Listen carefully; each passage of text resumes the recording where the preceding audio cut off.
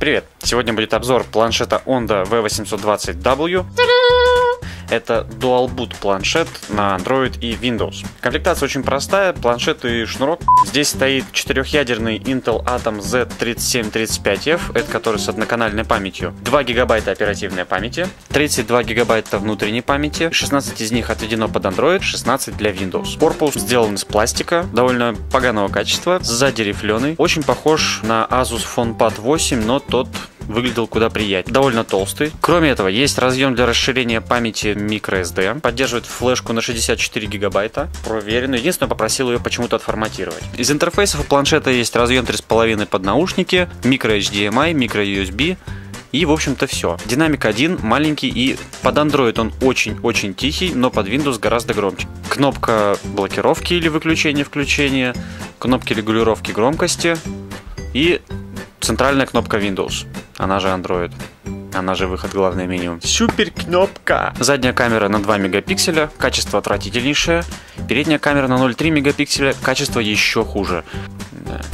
Не, вот сейчас у него жир так размазан, как будто не грязный. Экран у планшета размером 8 дюймов, а, разрешение 1280 на 800, выполнен не по GS, есть воздушная прослойка, она довольно толстая. Кстати, сейчас можно было заметить, что он выходил с блокировки реально долго.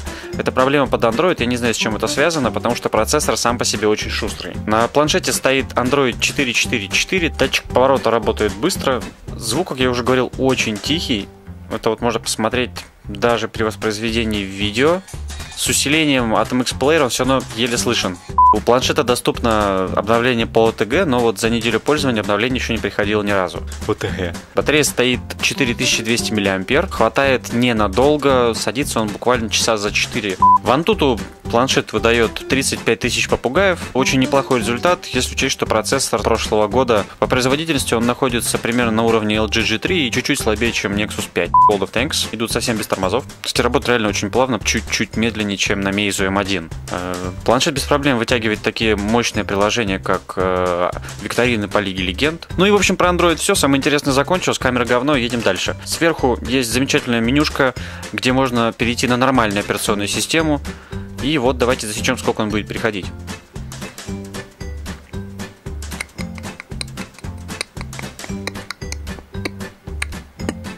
Пам-пам. А вот и Windows. Кстати говоря, Windows на этом планшете работает гораздо быстрее, чем Android.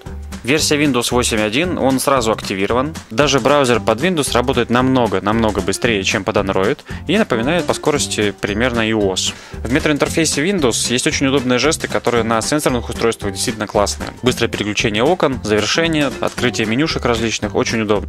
Откроем CPU Z. Z. Память работает на частоте 666 МГц, это действительно адская память. Встроенная графика Intel HD. Планшет идеально подходит для игр типа Героев Третьих и многих игр середины 2000-х. Например, Half-Life 2 идет на нем на средних настройках вообще без проблем.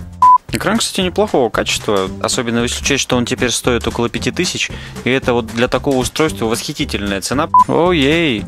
Саник вообще бодренько работает.